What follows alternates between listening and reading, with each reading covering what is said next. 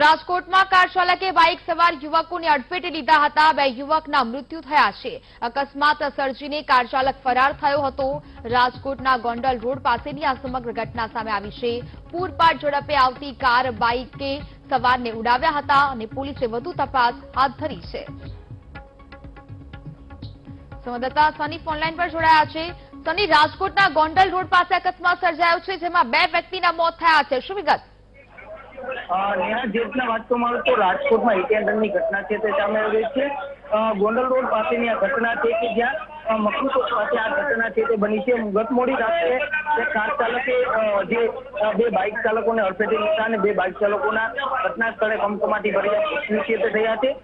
Car ચાલક છે તે કાર મૂકીને છે તે ફરાર થયું છે.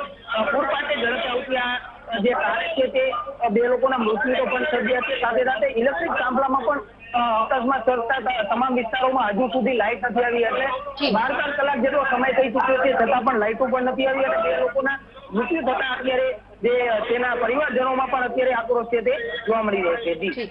બિલકુલ શની જાણકારી બદલ આભાર.